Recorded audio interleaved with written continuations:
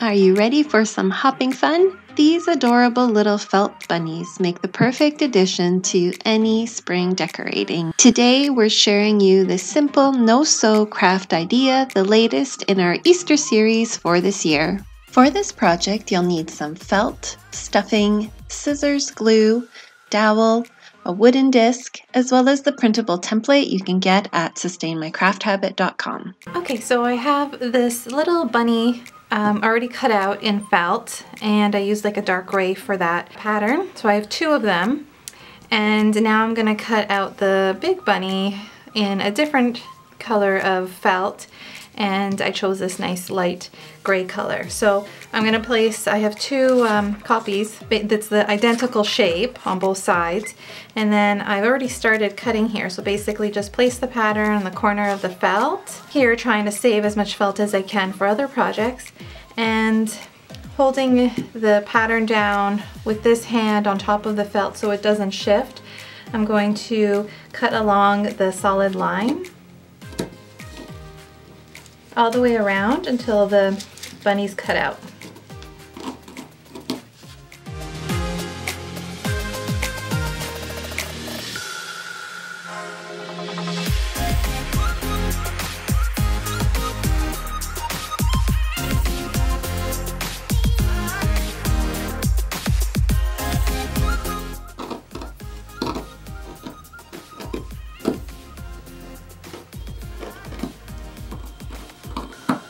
So using the same pattern or the second one, I like to cut onto paper as opposed to following along. It actually makes the cuts a lot cleaner is um, to use the full um, pattern for both pieces.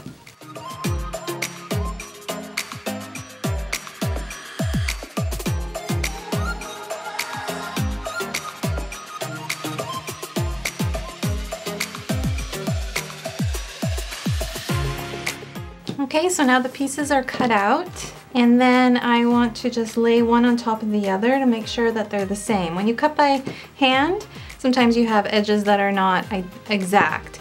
So now at this point, I can, um, I can just go along and just trim any uneven edges to make the both sides um, as close to the same as possible.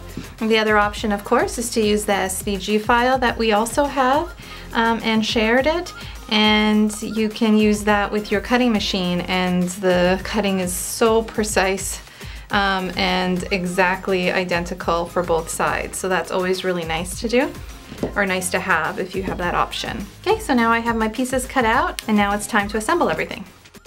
So you can see here the completed larger of my two bunnies. The front side has a cute bow and the back side a fluffy little tail.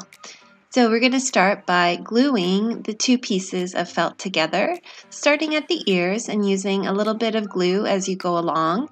Now this tends to work better than doing it all at once because the glue cools down so fast.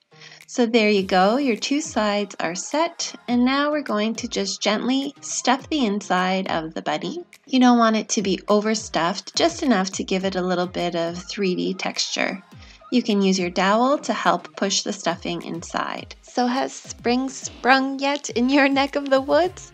Leave us a comment below so we know where you're watching from as this always interests us. Although we don't have snow, we still feel like a far ways away from spring in our area near Toronto, Canada. Now we're going to add our little embellishments. So these are adorable little pre-made bows that I found at my local craft store ages ago. They've been sitting in my craft collection forever, so it's nice to put them to use as well as just a little white pom-pom for the tail. And that's it, your bunny is all set to go. So now we're just going to add in the dowel and it's great to have the dowel going up all the way through the bunny, which will give it more stability. I wanted my second little bunny to be shorter than my big bunny, so I cut the dowel to size, and now I'm just gluing the opening closed. Next, you'll place your dowel inside the base, which in our case is just a simple birch branch wood slice that has the hole drilled in that's just big enough to fit the dowel. And there you go. Our little bunny family is all done and perfect for all our Easter decorating. Thank you so much for watching and be sure to check out our other Easter craft ideas that we have this year. Last week we shared some simple twine wrapped eggs as well as Easter painted mason jars.